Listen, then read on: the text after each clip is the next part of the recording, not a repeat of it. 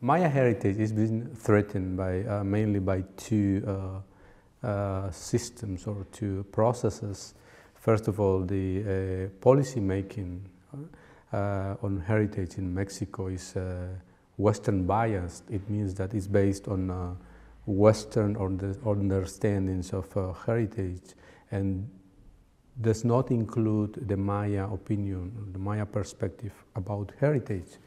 So they both enter into conflict when you have uh, specific uh, cases. For instance, in Oxkintoc, was, it is one place in Yucatan that has been excavated in the 80s.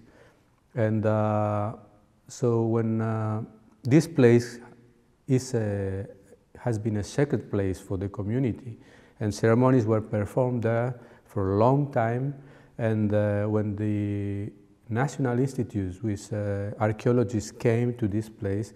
They started digging the place, they closed the area.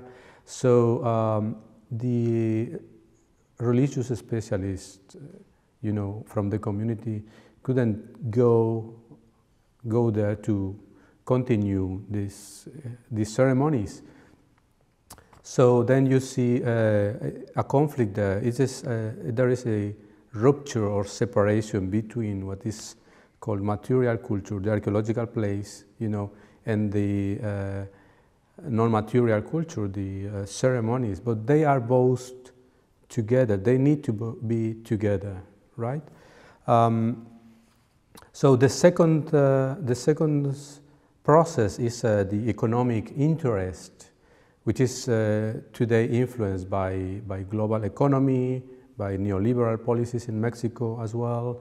Um, so um, the, the thing is that uh, um, the national institutes develop uh, policies for protecting this excavated area, but uh, in a narrow manner. I mean, they just protect the excavated area, but not the area surrounding the place. And for the community, all this area is a sacred place. Uh, there are many cave, other archaeological um, sites around it that need protection, and that's the, what the community demands, protection for all this area. But since there's no protection, then the economic interests just arrive, you know, and start doing, for instance, mining activities uh, on, the, on the hills around the area, which has caves, which has archaeological remains as well um, which has uh, which is also a sacred place for ceremonies as well, like the archaeological site. Yeah.